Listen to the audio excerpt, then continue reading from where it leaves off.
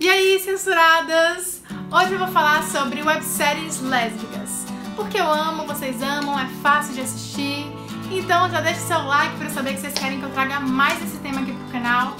E não se esquece de se inscrever, viu? Porque senão vocês vão perder os novos vídeos.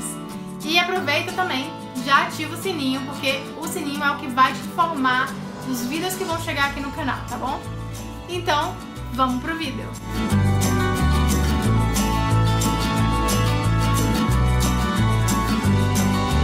Minha primeira dica se chama The Leslie.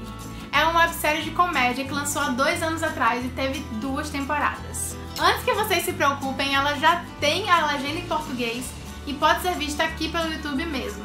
O programa acompanha as desventuras de Leslie, uma garota que acabou de sair do armário e começa a viver os complexos relacionamentos lésbicos. Ela está pronta para fazer algo que nunca fez antes: namorar garotas.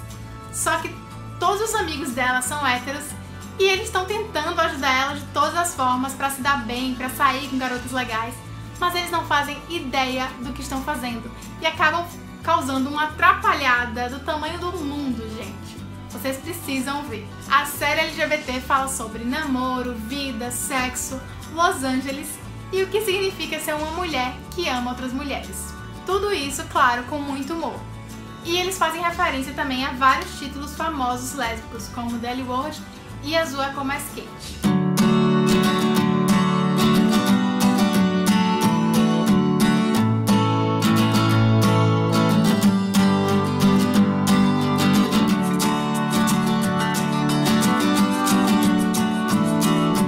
A próxima dica também foi lançada há dois anos e também tem duas temporadas. Ela se chama Chapstick. A comédia mostra os encontros de duas amigas, Andy e Marlo, e as suas lutas diárias por serem artistas, mulheres, gostarem de outras mulheres e encontrarem seu lugar no mundo. Então nós vamos assistir essas duas garotas de Chicago passarem por encontros lésbicos, rompimentos, dramas e muitos momentos embaraçosos. O interessante é que a série foi criada por duas estudantes universitárias que escreveram, atuaram e dirigiram todos os episódios. Além disso, a série, que chamou a atenção de vários sites famosos, é composta predominantemente por pessoas LGBTQ. Infelizmente, ela só tem a legenda gerada pelo próprio YouTube. Então, assim, dá pra você traduzir da forma que eu ensinei, mas não é muito bom porque a legenda automática por si só já é muito equivocada. Ela tem vários erros, mesmo na sua língua de origem. Para quem não viu ainda a forma que eu ensinei de traduzir as legendas que estão em outra língua, é, eu vou deixar ele aqui no card, o vídeo, e também o link na descrição.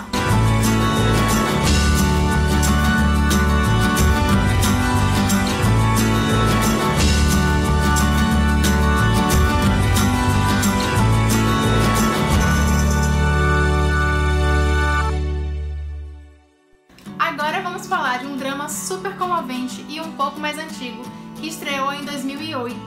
A série se chama Anyone But Me e vai seguir a vida de seis adolescentes e dos adultos que tentam entendê-los. Então a série é feita para todas as idades e traz histórias lésbicas engraçadas, tocantes e cheias de nuances, numa época em que não se via muito isso na internet. Ela apresenta uma nova geração gay, hétero e etnicamente diversificada, lutando com identidades e relacionamentos modernos. A série começa acompanhando o dilema de Vivian, que é uma jovem de 16 anos que tem uma namorada desde o ensino médio. E aí o relacionamento delas é tudo lindo, tudo certo, elas são muito fofas juntas. Só que alguma coisa vai acontecer que vai complicar aí essa relação delas duas. E o que, que vai ser isso? O pai da Vivian, ele é bombeiro, e no atentado de 11 de setembro, né, que aconteceu lá nos Estados Unidos, ele foi tentar ajudar as pessoas que estavam lá no prédio, desabando e tudo mais. E por conta disso, ele teve alguns problemas de saúde. E ele não pode mais morar na cidade grande. Então ele vai ter que se mudar com a Vivian para o subúrbio. E isso vai afastar as meninas. Então elas vão ter que tentar ter um relacionamento à distância ou terminar. E aí, será que essas duas vão conseguir manter um relacionamento à distância mesmo? Será que vai dar certo?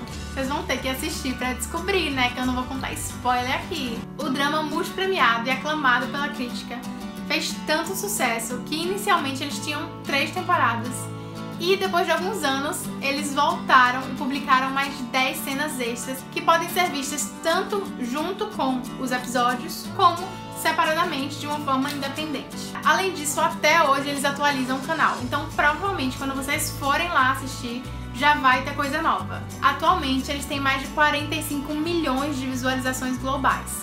E vocês podem assistir tanto pelo YouTube como por outras plataformas. Inclusive eles têm até um site oficial.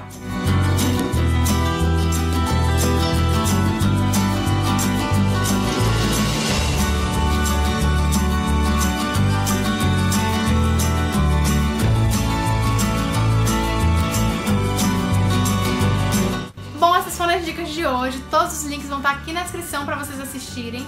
Mas antes de sair, não se esquece de me seguir nos dois Instagrams que estão aqui na tela. E também se inscrever no meu outro canal, que é o Vic Fequinha Triste, tá bom? Um beijo e até depois de amanhã.